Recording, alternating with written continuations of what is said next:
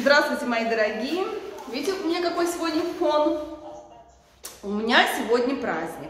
У нас в семье сегодня праздник. Мы 31 год как с Азатом встретились. Мы не отмечаем годовщину свадьбы, мы отмечаем годовщину встречи. Потому что годовщина свадьбы у нас также выходила 23 сентября. Это самая моя любимая цифра, самый любимый месяц.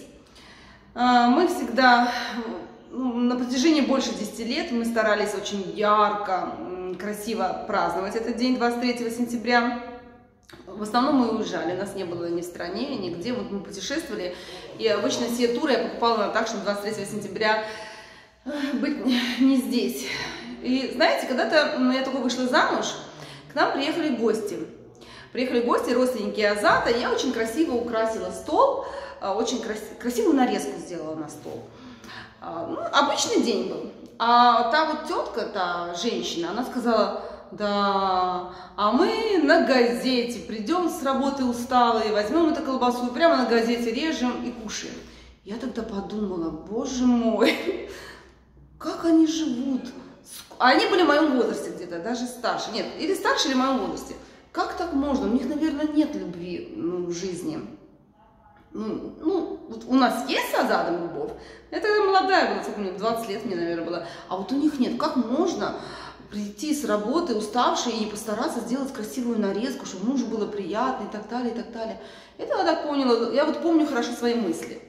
Сейчас я вот никогда молодость не поймет э, возраст 50-летних, э, вот 50-летние поймут молодых, а молодость не поймет.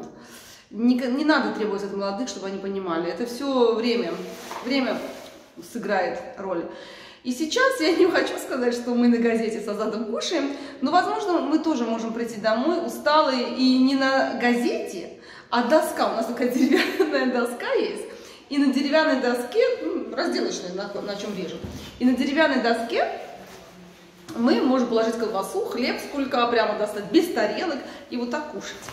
И мы такие счастливые, я не знаю, вот абсолютно неважно, на тарелке, на доске, на газете. Самое главное, когда как люди, вот, вот это с милым рай, шалаше, все-таки львиная доля правды в этом есть, потому что неважно на какой тарелке, важно как и с кем, с кем ты кушаешь эту колбасу или этот кусок хлеба.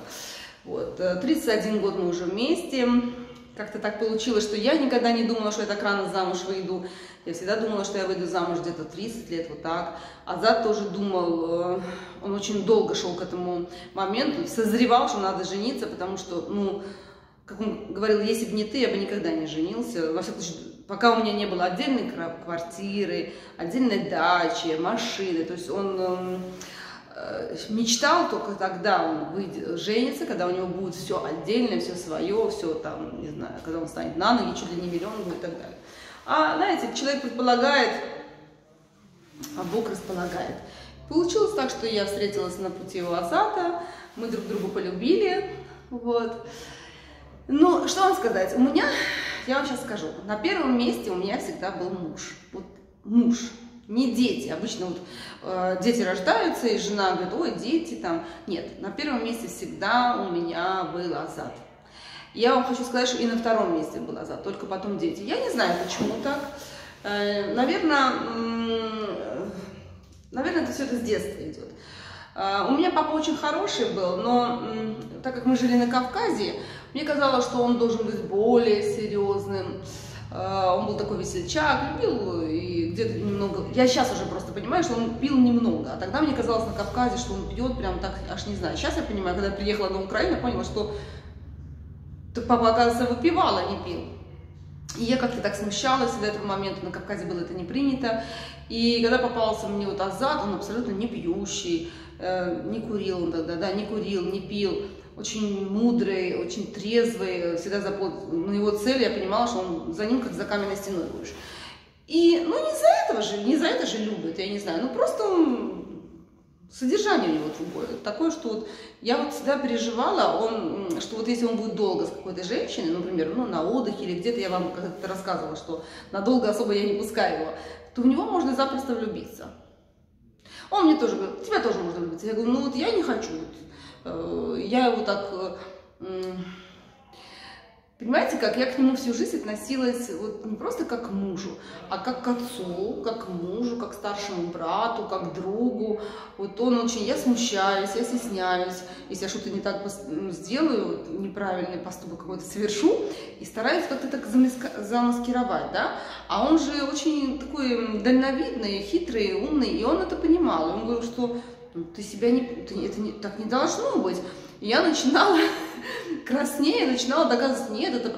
А он так относился всегда ко мне, как к ребенку. Ну, вот для меня это пример, образец и авторитет такой, что я вот стесняюсь, я даже стесняюсь его иногда.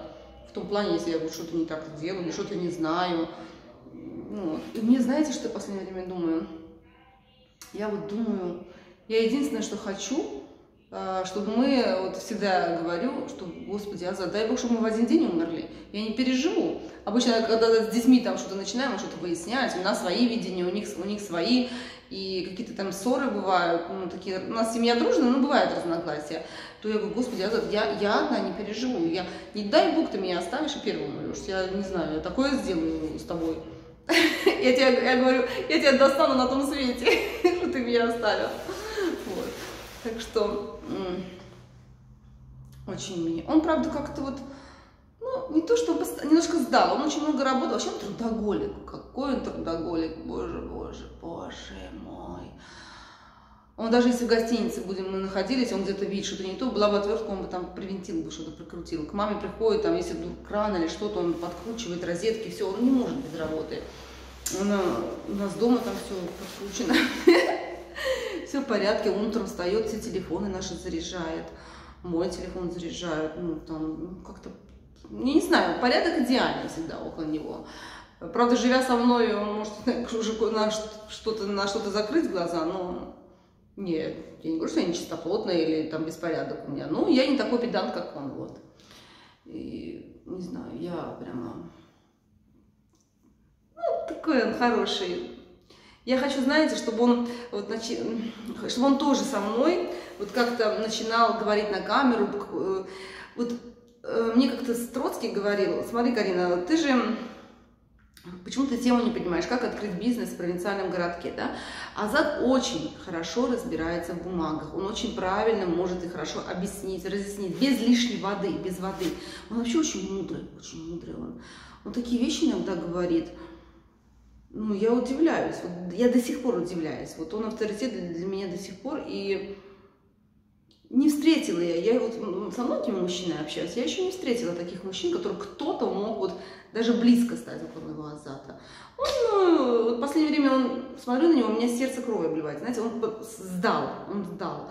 Видно, на, вот, он как-то так, ну, немножко постарел можно было... Не, он тоже хорошо выглядит на 55 лет, но можно было бы лучше. Вот, это постоянно его думки, переживания изнутри. Вот, э, он же не, не, вы, не выносит все наружу, как я. Он все в себе, все в себе, такая свекровь была. Вот. Ну, живя со мной, он научился уже выражать свои эмоции там. Так что такие у нас сегодня праздник, 31 год семейной жизни. И я бы хотела бы, чтобы моя Анечка так э, вышла. А вот знаете, на, природа отдыхает на детях. Видимо, я быстро замуж вышла, и, мне кажется, так удачно. Он женился, ну, 24 года у нас уже. А вот детей моих не получается. Вот ни один, ни второй. Вот на них природа отдыхает или судьба отдыхает. Они как-то так не могут найти свои половинки. Уже 29 одному, 25 другому. И я даже не представляю, когда это будет. Хочется, чтобы у моей Анечки так все было хорошо. Все, я быстро с вами поделилась своей радостью, что у нас сегодня 31 год, и хочу, чтобы у нас 50 лет вместе было. Вот. Я, знаете, если у него что-то, вот, ну, я уже рассказывала, что ну, дай бог, что-то у него заболит или что-то, это все. Это, ну, мне, я тоже я могу заболеть просто. От этих думок я могу заболеть. Пойду сейчас его поцелую. Он мне сегодня цветы принес, гвоздики. Я очень люблю гвоздики. Гвоздики принес. Хотел меня на кофе пригласить, а у нас же есть уже где кофе пить. Посмотри, сейчас может, куда-то поедем кофе. То есть мы не делаем таких праздников, как раньше. Я этого не делаю сейчас. Мне так хорошо. Вот хорошо так. Вот просто он есть рядом, и мне хорошо. И не надо мне ни подарков, ничего мне не надо. Просто, чтобы он жил и дышал. И все. Больше ничего не хочу. Сейчас я хочу закончить уже, потому что до 10 минут пошло. Все, пока.